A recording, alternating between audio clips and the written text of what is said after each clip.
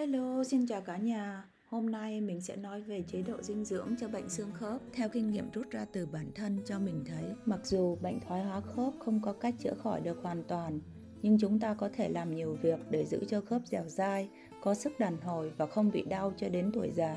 Chúng ta cần ăn một chế độ ăn uống đa dạng với nhiều chất dinh dưỡng tốt cho sức khỏe, thường xuyên tập thể dục và tự xoa bóp cho các khớp xương. Việc chúng ta tiêu thụ thịt và thực phẩm có tỷ lệ lớn chất béo thường xuyên không chỉ thúc đẩy quá trình viêm đau mà còn gây béo phì. Do đó, tốt nhất là chúng ta nên giảm, tránh, thậm chí nên bỏ thói quen ăn thịt, ăn thức ăn nhanh, rượu và thuốc lá.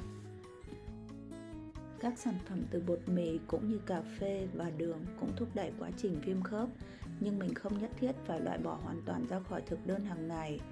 Ví dụ, ăn một lát bánh mì kèm với súp rau củ hoặc salad và vài tuần mới ăn một miếng bánh ngọt thì cũng không có tổn hại cho sức khỏe.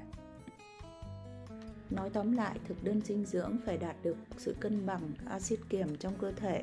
Chúng ta nên ăn khoảng 70 đến 80% thực phẩm có tính kiềm và chỉ khoảng 20 đến 30% thực phẩm có tính axit.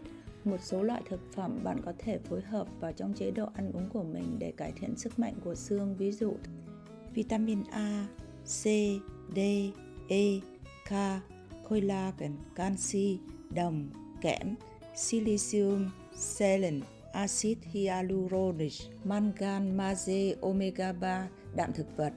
Chỉ nên ăn khoảng 30% thực phẩm có tính tạo axit, axit oxalic và phytat.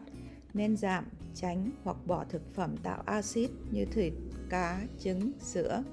Đồ uống có caffeine, nước ngọt, cola, trà đen và đường các loại gia vị như nhục đầu khấu thì là rau mùi, gừng, lá nguyệt quế, cây hương thảo, cây xô thơm, dầu hạt lanh hoặc dầu óc chó có tác dụng chống viêm, do đó rất thích hợp cho bệnh viêm xương khớp. Bạn nên bổ sung nhiều hơn vào thực đơn hàng ngày.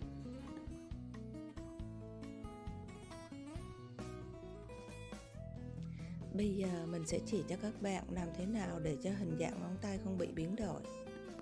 Nằm nóng hạt cải rồi đổ vào một cái thau, sau đó cho tay vào rồi xoa bóp các khớp xương ngón tay. Nếu bạn làm như vậy mỗi ngày sẽ tránh được sự biến dạng của các khớp xương và da tay của bạn sẽ rất mềm mại. Trước đây 25 năm mình bị sưng các khớp ngón tay, bây giờ mình đã 55 tuổi mà ngón tay mình không bị đau và biến dạng như những người khác, chứng tỏ sự ăn uống và cách chăm sóc bản thân để chống lại bệnh tật rất quan trọng khi các bạn chưa bị bệnh, các bạn có thể ăn tất cả những gì bạn thích mà không cần biết tốt hay xấu, có lợi hay có hại cho sức khỏe. Nhưng khi các bạn bị bệnh thì các bạn sẽ biết cái gì tốt cho sức khỏe của bản thân. Không có bác sĩ nào có thể chữa được khỏi bệnh của bạn ngoại trừ chính bản thân bạn. Bạn có thể xem qua thực đơn cân bằng dinh dưỡng của mình dưới phần mô tả video. Mình làm YouTube không chỉ chỉ cho các bạn cách nấu ăn chay đơn giản mà là nấu ăn chay đúng cách để giữ gìn sức khỏe. Ăn như thế nào cho đúng và đề phòng chữa bệnh gì, mời các bạn đăng ký để tiếp tục theo dõi tập tiếp theo.